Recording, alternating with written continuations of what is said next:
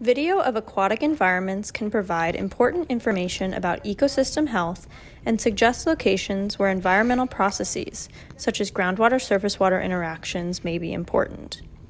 But when combined with quantitative data from environmental sensors, these videos provide an even more powerful method for examining how water, streambed, or lakebed parameters correlate with the observed environment. These videos also represent an opportunity to engage the public and connect what was observed qualitatively with what scientists observe via environmental sensors. The data shown in these videos were collected using a highly instrumented canoe, which was equipped with GPS, frontward and downward facing GoPro cameras, and water depth sensors, as well as a series of water quality sensors and a Geonics EM31 tool for measuring subsurface electrical conductivity. Each of the data sources collected from the site were combined into a single data rich video using RaceRender. In the upper left, the path traveled by the canoe from GPS data is displayed, along with the current position in red. In this particular video, you can see that the lake was circumnavigated twice to assess data consistency.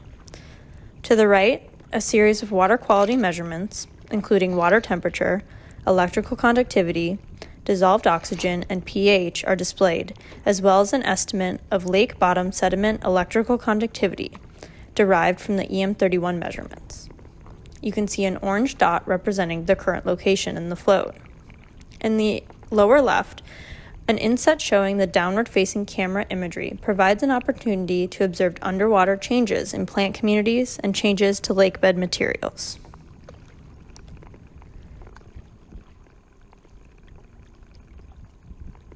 In this stream survey conducted on the Grant River in southwestern Wisconsin, we are able to observe an example of groundwater surface water interaction in both the video and in the response collected by the environmental sensors.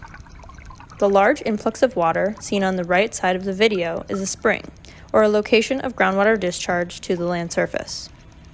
Because groundwater is stored underground, during summer months in Wisconsin, it is colder than the surface water because it is not subjected to heat from the sun.